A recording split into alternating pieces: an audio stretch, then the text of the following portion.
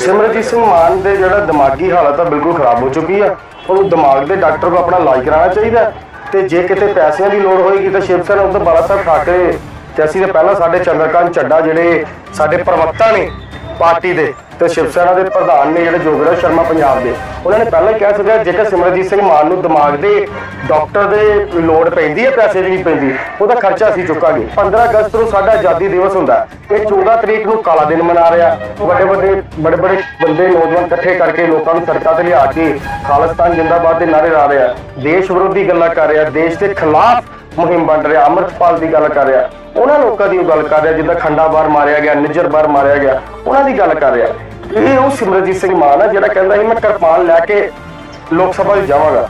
ਸੰਵਿਧਾਨ ਦੀ ਸੋਚ ਚੁੱਕ ਕੇ ਇੰਨੇ ਲੋਕ ਸਭਾ 'ਚ ਜਾਂਦਾ ਤੇ ਬਾਹਰ ਆ ਕੇ ਉਸੇ ਸੰਵਿਧਾਨ ਦੇ ਖਿਲਾਫ ਬੋਲਦਾ ਜਾਂ ਤਾਂ ਫਿਰ ਤੂੰ ਅੜੀਅਲ ਤੇ ਰਹਿ, ਤੂੰ ਉਸੇ ਸੰਵਿਧਾਨ ਦੀ ਸੋਹਣਾ ਚੁੱਕ।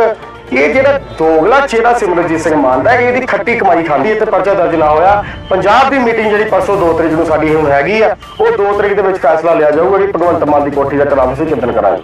ਤੇ ਸਾਡੇ ਅਜੇ ਕੁਮਾਰ ਜੀ, ਜਿਹੜੇ ਸਾਡੇ ਯੂਥ ਦੇ, ਪੰਜਾਬ ਦੇ ਪ੍ਰਵਕਤਾ ਨੇ ਉਹਨਾਂ ਦੀ ਦੇਖ ਰੇਖ ਵਿੱਚ ਵਿੱਚ ਵੱਡੇ ਭਾਰੀ ਨੌਜਵਾਨ ਜਿਹੜੇ ਆ ਸ਼ਿਵ ਸੈਨਾ ਉਧਰ ਬਾਲਾ ਸਾਹਿਬ ਠਾਕਰੇ ਸ਼ਾਮਲ ਹੋਏ ਆ।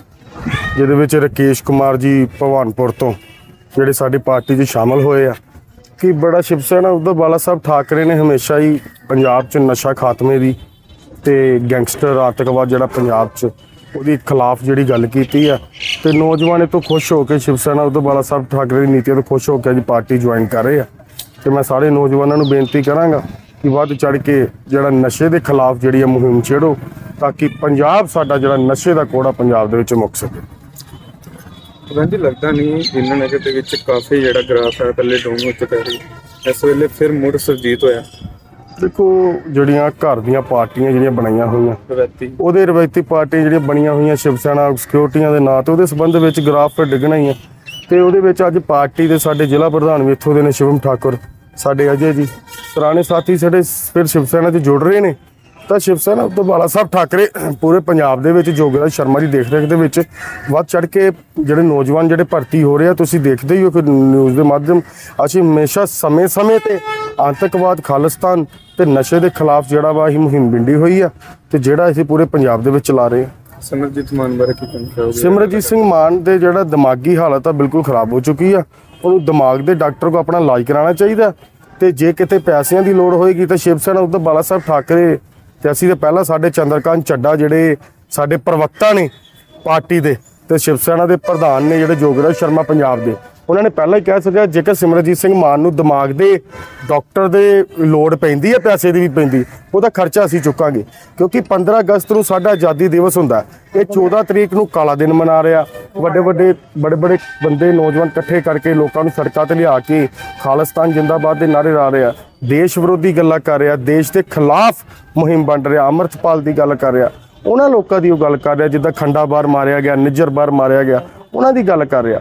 ਇਹ ਸਿੱਧੇ ਸਿੱਧੇ, ਇਹ ਉਹ ਸਿਮਰਜੀਤ ਸਿੰਘ ਮਾਨ ਆ ਜਿਹੜਾ ਕਹਿੰਦਾ ਸੀ, ਮੈਂ ਕਿਰਪਾਨ ਲੈ ਕੇ ਲੋਕ ਸਭਾ 'ਚ ਜਾਵਾਂਗਾ। ਉਸੇ ਸੰਵਿਧਾਨ ਦੀ ਇਹਨੇ ਸਹੁੰ ਚੁੱਕੀ ਆ। ਅੱਜ ਉਸੇ, ਦੇਖੋ, ਉੱਥੇ ਸੰਵਿਧਾਨ ਦੀ ਸਹੁੰ ਚੁੱਕ ਕੇ ਇਹਨੇ ਲੋਕ ਸਭਾ 'ਚ ਜਾਂਦਾ ਤੇ ਬਾਹਰ ਆ ਕੇ ਉਸੇ ਸੰਵਿਧਾਨ ਦੇ ਖਿਲਾਫ ਬੋਲਦਾ ਜਾਂ ਤਾਂ ਫਿਰ ਤੂੰ ਅੜੀਅਲ ਤੇ ਰਹਿ, ਤੂੰ ਉਸੇ ਸੰਵਿਧਾਨ ਦੀ ਸਹੁੰ ਨਾ ਚੁੱਕ। ਇਹ ਜਿਹੜਾ ਦੋਗਲਾ ਚਿਹਰਾ ਸਿਮਰਜੀਤ ਸਿੰਘ ਮਾਨ ਦਾ ਇਹਦੀ ਖੱਟੀ ਕਮਾਈ ਖਾਂਦਾ ਜੇ ਤੂੰ ਐਡਾ ਹੀ ਨੌਜਵਾਨ ਸਿੱਖਾਂ ਮੁੰਡਿਆਂ ਦਾ ਇੰਨਾ ਹੀ ਤੂੰ ਹਮਦਰਦੀ ਹੈ, ਤੇ 2-2 ਲੱਖ ਰੁਪਏ ਦੇ ਤੂੰ ਆਪਣੇ ਕੋਲੋਂ ਵੰਡ ਕੇ, ਜਿਹੜੇ ਉਹ ਦਿਨਾਂ 2-2 ਲੱਖ ਰੁਪਏ 1.5 ਲੱਖ ਰੁਪਏ ਦੇ ਚਿੱਠੀਆਂ ਦੇ ਕੇ ਨੌਜਵਾਨਾਂ ਨੂੰ ਬਾਹਰ ਭੱਜ ਰਿਹਾ ਕਿ ਇੰਡੀਆ 'ਚ ਖਤਰਾ ਹੈ ਇਹਨਾਂ ਨੂੰ।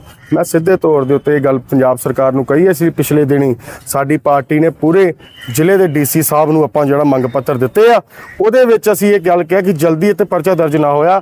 ਪੰਜਾਬ ਦੀ ਮੀਟਿੰਗ ਜਿਹੜੀ ਪਰਸੋਂ 2 ਤਰੀਕ ਨੂੰ ਸਾਡੀ ਹੁਣ ਹੈਗੀ ਆ ਉਹ 2 ਤਰੀਕ ਦੇ ਵਿੱਚ ਫੈਸਲਾ ਲਿਆ ਜਾਊਗਾ ਕਿ ਭਗਵੰਤ ਮਾਨ ਦੀ ਕੋਠੀ ਦਾ ਕਰਾਫ ਅਸੀਂ ਕਿੱਦਣ ਕਰਾਂਗੇ। ਹਾਂਜੀ ਕੀ ਕਹਿਣਾ ਚਾਹੁੰਦੇ ਹੋ ਅੱਜ ਜਿਹੜੀ ਮੀਟਿੰਗ ਕੀਤੀ ਗਈ? ਜੈ ਸ਼੍ਰੀ ਰਾਮ ਮੈਂ ਅਜੇ ਕੁਮਾਰ ਪੰਜਾਬ ਪ੍ਰਵਕਤਾ। ਉद्धਵ ਬਾਲਾ ਸਾਹਿਬ ਠਾਕਰੇ ਤੋਂ। ਅੱਜ ਦੀ ਜਿਹੜੀ ਮੀਟਿੰਗ ਦਾ ਸਾਡੀ ਮੇਨ ਮਕਸਦ ਆ ਕਿ ਸਾਡੇ ਪੰਜਾਬ ਪ੍ਰਭਾਰੀ ਹਨੀ ਜੀ ਅੱਜ ਧਾਰੀਵਾਲ ਤੋਂ ਵਿਸ਼ੇਸ਼ ਤੌਰ ਤੇ ਸ਼ਾਮਲ ਹੋਇਆ ਅੱਜ ਇਹ ਕੁਝ ਨਿਯੁਕਤੀਆਂ ਕੀਤੀਆਂ ਕੁਝ ਜਿਹੜੇ ਨੌਜਵਾਨਾਂ ਨੂੰ ਅਸੀਂ ਪਾਰਟੀ ਨਾਲ ਜੁੜਿਆ। ਕਿਉਂਕਿ ਜਿਹੜੇ ਨੌਜਵਾਨ ਹੁੰਦੇ, ਯੁਵਾ ਹੁੰਦੇ ਆ, ਉਹ ਪਾਰਟੀ ਦੀ ਰੀੜ ਦੀ ਹੱਡੀ ਹੁੰਦੇ ਆ। ਇਸੀ ਕੜੀ ਦੇ ਤਹਿਤ ਅਸੀਂ ਅੱਜ ਕਈ ਯੁਵਾਵਾਂ ਨੂੰ ਪਾਰਟੀ ਨਾਲ ਜੋੜਿਆ ਤੇ ਉਹਨਾਂ ਨੂੰ ਅਹੁਦੇ ਦਿੱਤੇ ਆ। ਬਾਕੀ ਜਿਹੜਾ ਪਾਰਟੀ ਦਾ ਜਿਹੜਾ ਕੋਈ ਵੀ ਵਿਸਤਾਰ ਆ, ਅਸੀਂ ਕਰਦੇ ਰਵਾਂਗੇ, ਪਾਰਟੀ ਨੀਤੀਆਂ ਨੂੰ ਘਰ ਤੱਕ ਲੈ ਲੈ ਕੇ ਜਾਵਾਂਗੇ।